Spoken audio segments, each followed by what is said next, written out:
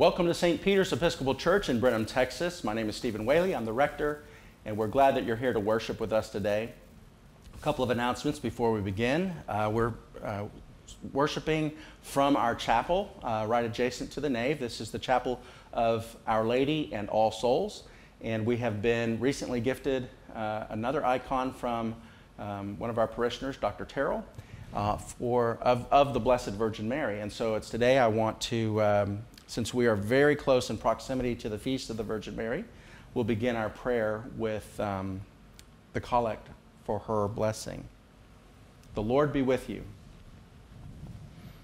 Let us pray. O God, who hast taken to thyself the Blessed Virgin Mary, mother of thy incarnate Son, grant that we, who have been redeemed by his blood, may share with her the glory of thine eternal kingdom. Through the same thy Son, Jesus Christ our Lord, who liveth and reigneth with thee in the unity of the Holy Spirit, one God, now and forever. Amen. The liturgy of the word begins on page 323 in your prayer book. Blessed be God, Father, Son, and Holy Spirit and blessed be his kingdom now and forever. Amen.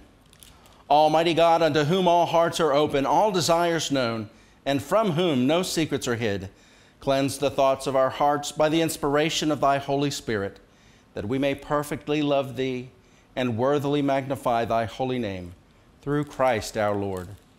Amen. Hear what our Lord Jesus Christ saith.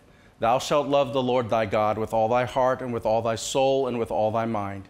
This is the first and great commandment. And the second is like unto it Thou shalt love thy neighbor as thyself. On these two commandments hang all the law and the prophets.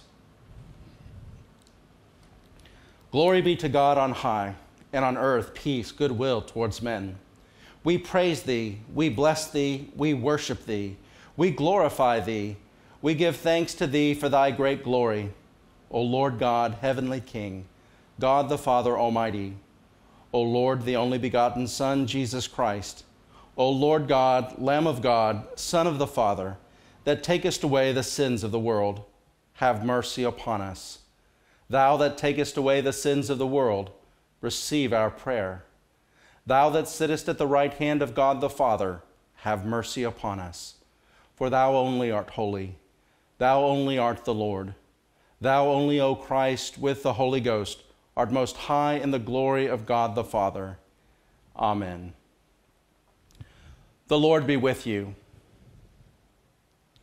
Let us pray.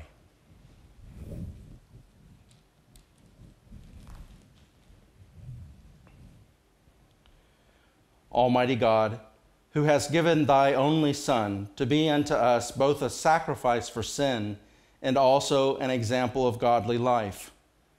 Give us grace that we may always most thankfully receive that his inestimable benefit, and also daily endeavor ourselves to follow the blessed steps of his most holy life.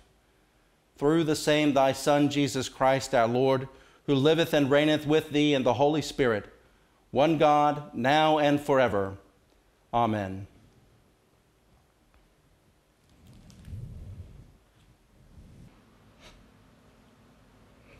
A reading from the book of Isaiah, chapter 56, beginning at the first verse.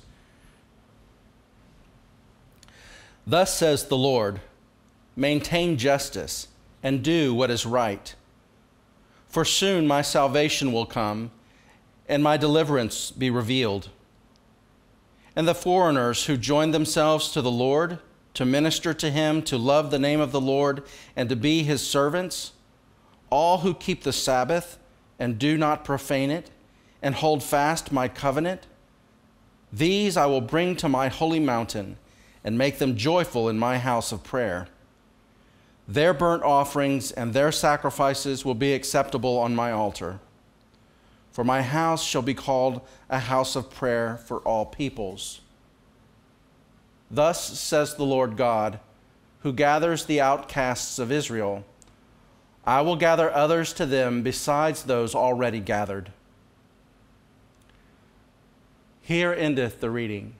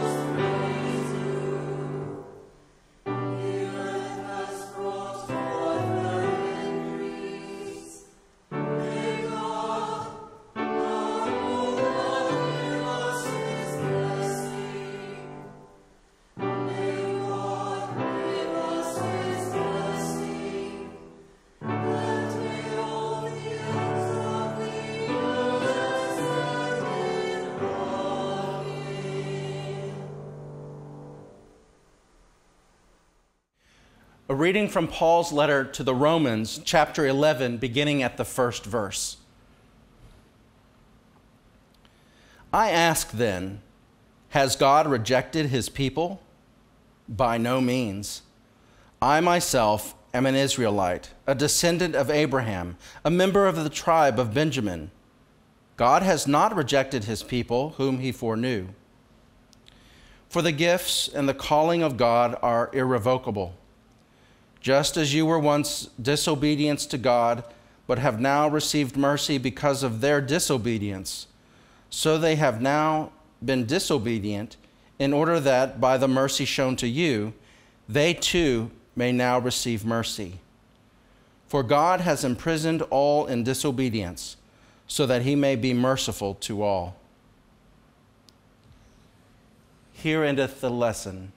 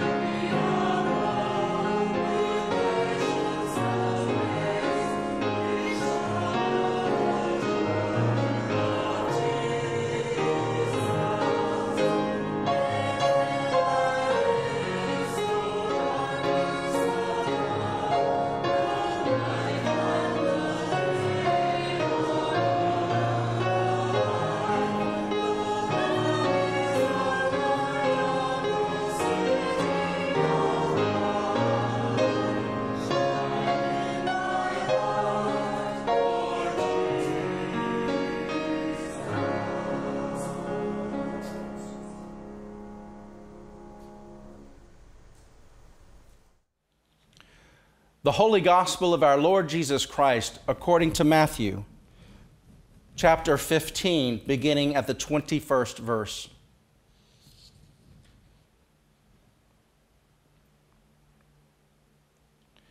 Jesus left that place and went away to the district of Tyre and Sidon.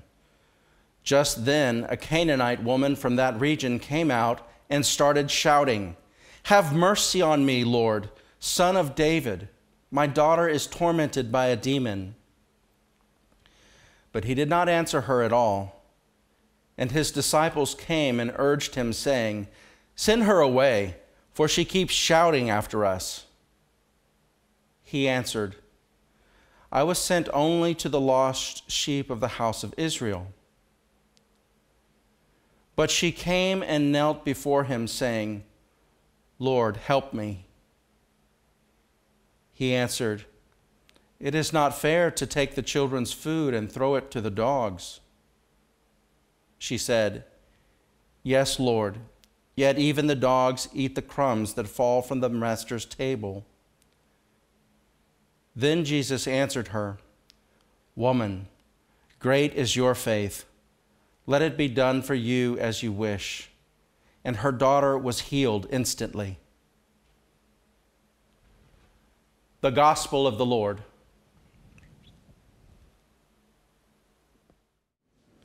Jesus delivers mercy to those who ask. We ask for a lot in this world. Mom, can I have that toy airplane? Can we buy it? Dad, I think I want to play soccer. Can we register to play? Mom, I want to play violin. Can you pay for the violin and for the lessons? Grandma, that guitar looks really cool. I want it. Will you buy it for me? Our toys get more expensive as we get older. Dad, a new car, you know, so I can drive myself to school. That would be a great thing. Can we get it? But there are also things, those are materialistic things, but there are also things that are ethereal. Son, will you give me the obedience that I'm owed? Daughter, will you listen to me? Husband, will you give me the love that I need? Wife, will you give me the respect that I crave? We ask for so much in this world.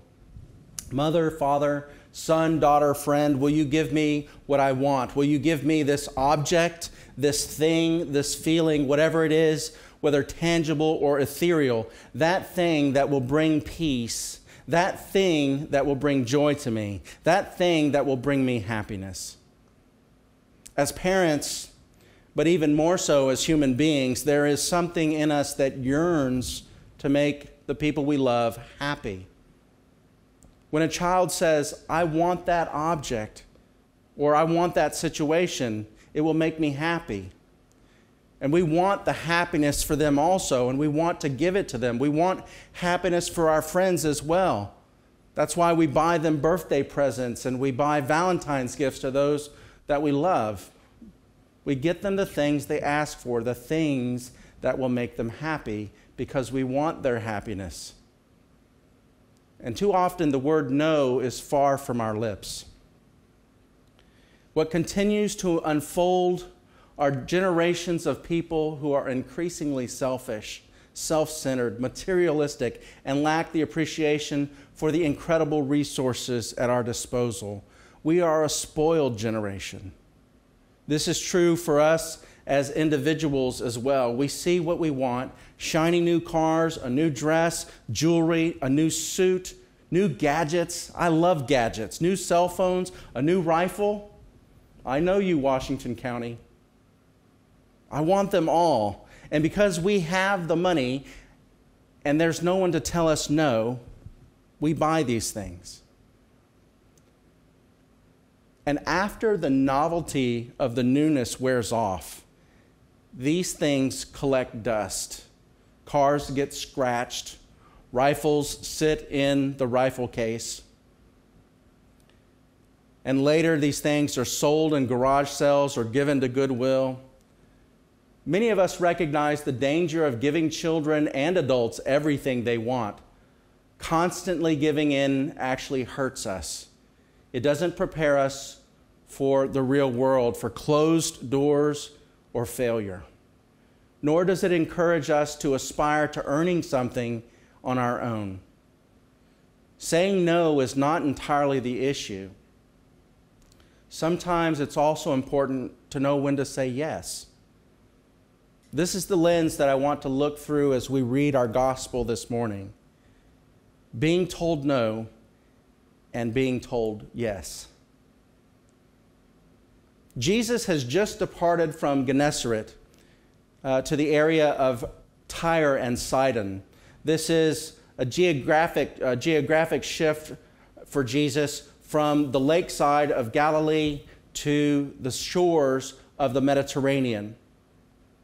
It's an area from Galilee that's populated by a mixture of his own people and Gentiles, where he has been preaching the gospel both to his own Hebrew brothers and sisters as well as the Gentiles who are standing around listening. And he has just had another dispute with the religious leaders, some of whom have followed him all the way from Jerusalem. And they've asked this question of him Why do your followers break tradition and not wash their hands before they eat? This was a sign of uncleanness, and it was a breach of their custom and their law. And Jesus responds with a question Why do you break the command to honor father and mother? So while they challenge him with the breaking of a custom, he challenges them with the breaking of the commandment to honor father and mother. In the commandment to honor the father and your father and your mother, the word honor in Hebrew literally means to make heavy, meaning to feed to give something more weight. And what the command to honor father and mother implies is that in the same way that your parents cared for you when you were a helpless child, you then are to honor them, to make them heavy, to feed them and care for them in their old age. Jesus criticizes the Pharisees because they nullified this command by saying if you give money to the temple, the money that you would have used to take care of your parents, you don't need to honor your parents. And he says to them, You have broken the commandment in order to uphold your tradition, your custom. And Jesus quotes the prophet Isaiah This people honors me with their lips, but their hearts are far from me. In vain do they worship me, teaching human precepts as doctrines. This response dumbifies the Pharisees. And Jesus turns to the crowds and answers the original question about not washing hands. He turns to the crowds and he says, It is not what goes into the mouth that defiles or makes one unclean, but what comes out of the mouth. That is what defiles or makes one unclean. If evil comes out of your mouth, it is worse because it has come from your heart. This is the situation that Jesus is leaving Gennesaret, the region of Galilee, and going to the Gentile regions. He is geographically leaving his people but also symbolically walking away from them. So, can you tell what in Matthew's gospel is what is being dealt with here in the first century? As Jewish believers in Jesus, they're dealing with the issue of can we integrate Gentiles into the life of the church, into our spiritual common life? Jesus gives us a sign of things to come, and he enters the region of Tyre and Sidon in the land of heathens. There he encounters this woman, a Canaanite. Canaanites were a people from the Old Testament that were always struggling with God's people, they were a hated group. And he's not really walking near this woman. She's shouting out, the text says, Have mercy on me, Lord, son of David. Other translations say that she is crying out, Lord, have mercy on me. It appears that Jesus is trying to avoid her, which is strange. He doesn't answer her. And she must have gone on and on, just like the cry of the Gentiles go on and on to know God. And the disciples who are close to Jesus are telling him to send her away so that she'll leave us alone. Just think if the church was like that today, how empty would it be? If Christians acted the way the disciples did in this text, make them go away. They're sitting in my pew. They're wearing the wrong shoes with that dress. They have the wrong skin color, different political party. Send them away. They're not like us. Once again, Jesus does something that we at first don't understand. he avoids her. He says, I didn't come for the Gentiles. Where's the compassion? Where's the empathy? This woman's daughter is tormented, and so is this woman.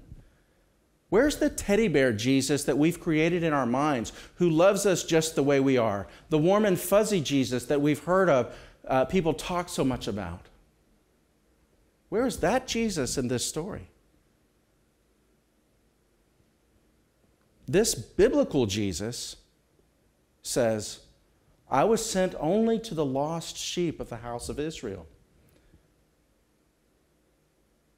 But she came and knelt before him, saying, Lord, help me. This is important. The Canaanite woman is the only one in these stories, from the Pharisees to the disciples to the crowds that have been listening along. She is the only one to honor Jesus. She calls him from the beginning, Lord, Son of David. The implication is that he's a king. And when she kneels before him, she calls him Lord again when she says, Lord, help me. Her whole posture is submission. The Pharisees don't call him rabbi or teacher. The disciples don't call him Lord or master when they tell him to send her away.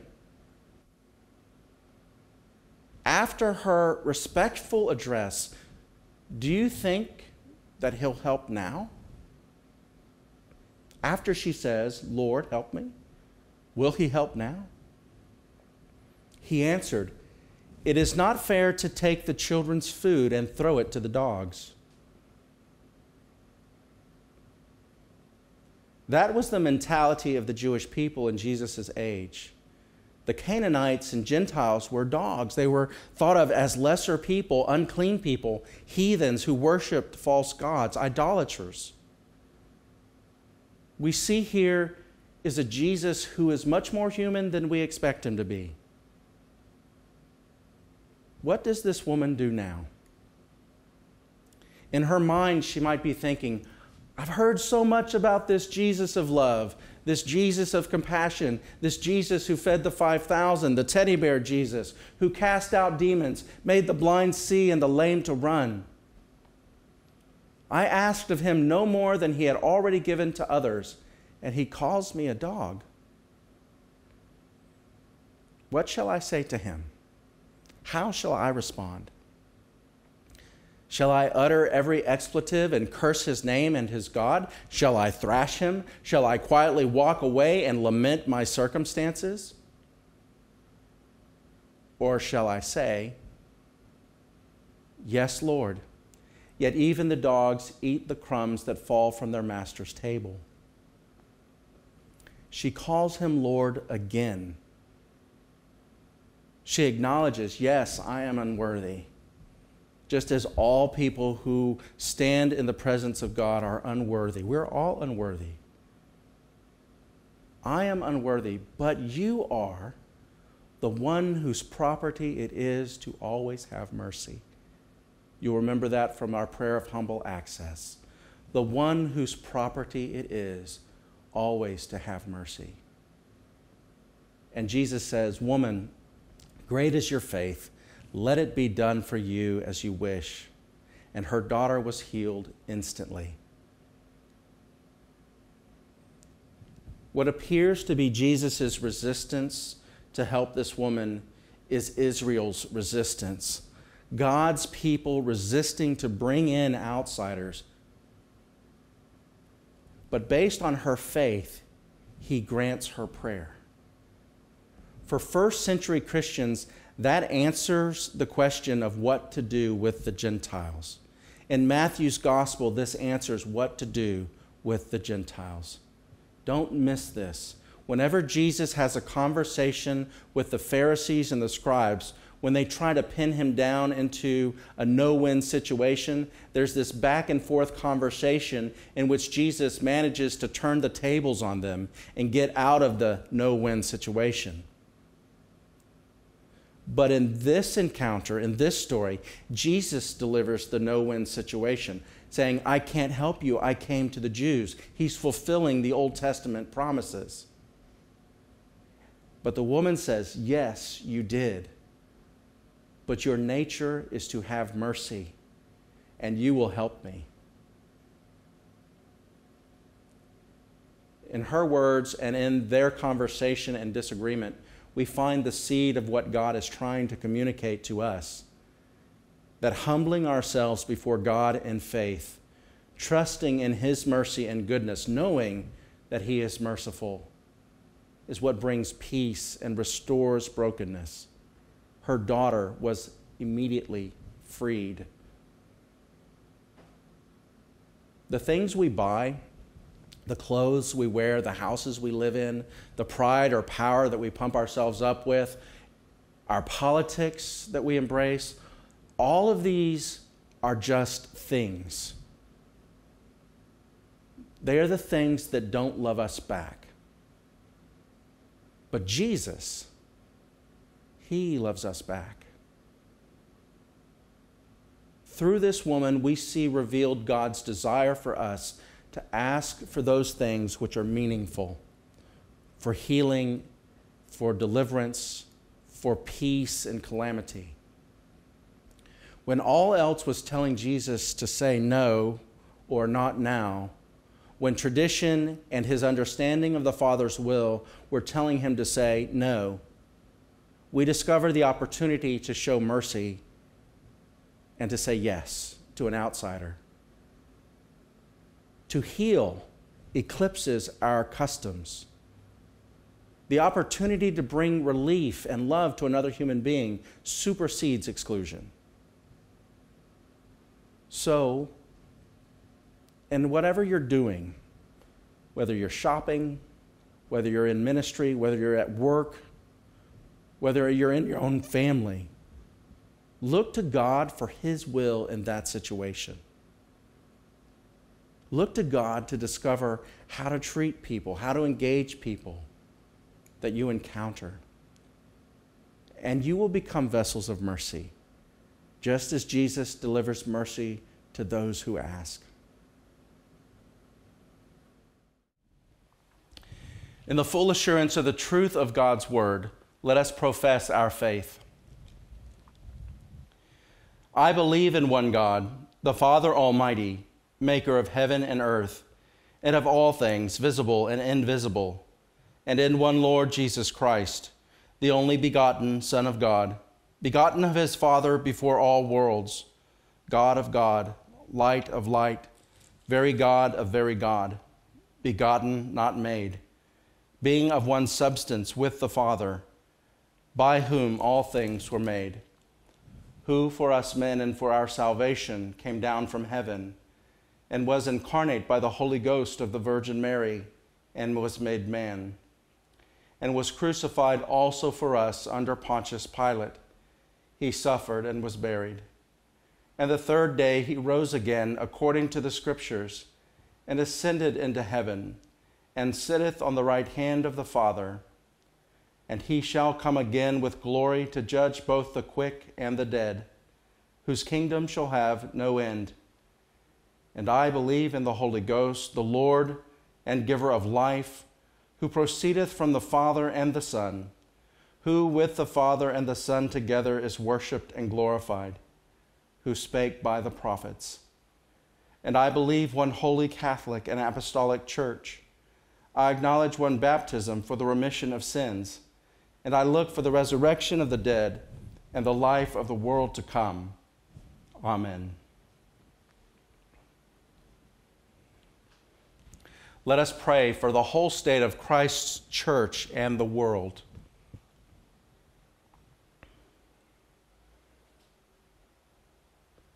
Almighty and ever living God, who in thy holy word has taught us to make prayers and supplications and to give thanks for all men. Receive these, our prayers, which we offer unto thy divine majesty, beseeching thee to inspire continually the universal church with the spirit of truth, unity, and concord, and grant that all those who do confess thy holy name may agree in the truth of thy holy word and live in unity and godly love. Give grace, O Heavenly Father, to all bishops and other ministers, that they may both by their life and doctrine set forth thy true and lively word, and rightly and duly administer thy holy sacraments. And to all thy people, give thy heavenly grace, and especially to this congregation here present, that with meek heart and due reverence they may hear and receive thy holy word truly serving thee in holiness and righteousness all the days of their life. We beseech thee also so to rule the hearts of those who bear the authority of government in this and every land, that they may be led to wise decisions and right actions for the welfare and peace of the world. Open, O Lord, the eyes of all people to behold thy gracious hand in all thy works, that, rejoicing in thy whole creation, they may honor thee with their substance and be faithful stewards of thy bounty. And we most humbly beseech thee of thy goodness, O Lord, to comfort and succor all those who in this transitory life are in trouble, sorrow, need, sickness, or any other adversity.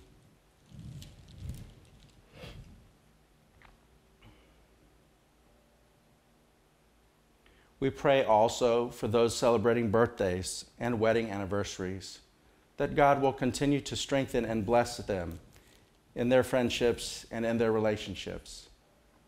We pray also for those serving in our military services at home and abroad, that God may bring them home in peace.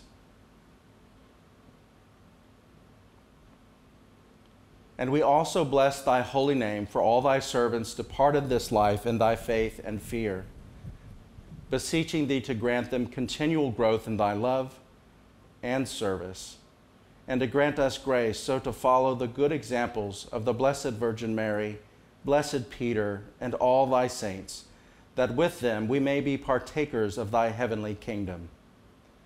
Grant these our prayers, O Father, for Jesus Christ's sake our only mediator and advocate. Amen. Let us humbly confess our sins unto Almighty God.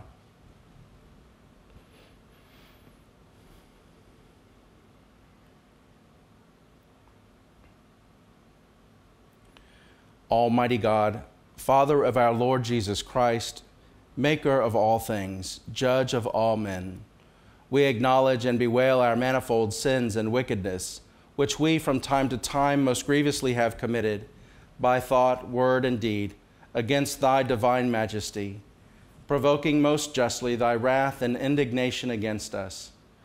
We do earnestly repent and are heartily sorry for these our misdoings. The remembrance of them is grievous unto us, the burden of them is intolerable. Have mercy upon us have mercy upon us, most merciful Father. For thy Son, our Lord Jesus Christ's sake, forgive us all that is past, and grant that we may ever hereafter serve and please thee in newness of life, to the honor and glory of thy name, through Jesus Christ our Lord. Amen. Almighty God, our heavenly Father, who of his great mercy hath promised forgiveness of sins, to all those who with hearty repentance and true faith turn unto him. Have mercy upon you, pardon and deliver you from all your sins, confirm and strengthen you in all goodness, and bring you to everlasting life through Jesus Christ our Lord. Amen. Hear the word of God to all who truly turn to him. This is a true saying, and worthy of all men to be received, that Christ Jesus came into the world to save sinners.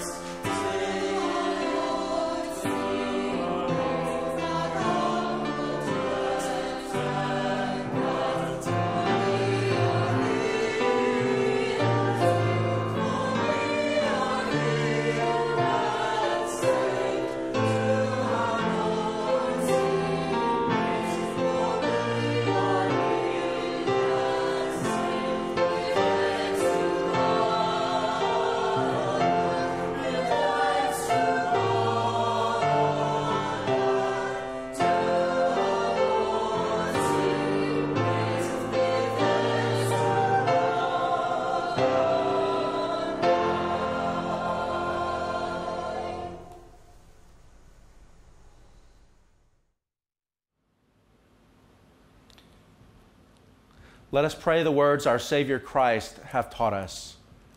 Our Father, who art in heaven, hallowed be thy name. Thy kingdom come, thy will be done, on earth as it is in heaven. Give us this day our daily bread, and forgive us our trespasses, as we forgive those who trespass against us. And lead us not into temptation, but deliver us from evil. For thine is the kingdom, and the power, and the glory, forever and ever. Amen. The peace of God, which passeth all understanding, keep your hearts and minds in the knowledge and love of God and of his Son, Jesus Christ our Lord. And the blessing of God Almighty, the Father, the Son, and the Holy Ghost be amongst you and remain with you always. Amen. The peace of the Lord be always with you.